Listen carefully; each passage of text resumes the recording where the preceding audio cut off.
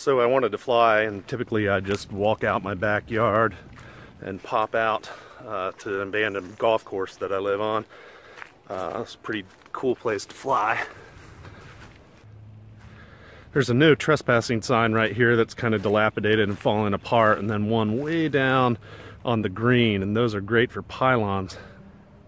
And then there's a nice branch over here hanging off the oak, uh, which is a nice gate. Used to like dancing around this palm tree, doing split S's underneath this tree. But unfortunately, my neighbor came out the other day and she was pretty irritated with the noise. Asked me if I could put a muffler on it.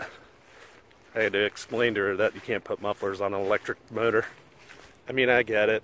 I wouldn't want somebody revving a weed whacker the whole time I'm trying to work or relax in my house. So, no big deal. She was pretty cool about it, actually. She was interested in the gear. So instead, I'll do some walking. Walk down to the other side of the fairway and not aggravate her today. So this is a different fairway. It's big and wide open, but there's an awesome oak tree right over here. I'm gonna fly this.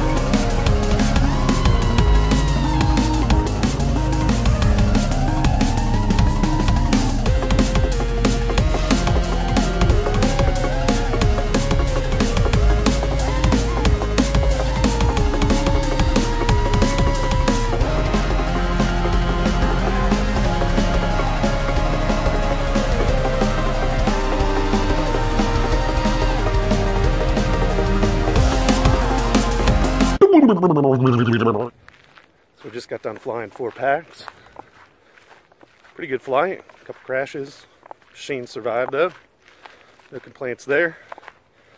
And I'm really impressed with the Fox Foxeer lollipops. Great range on them.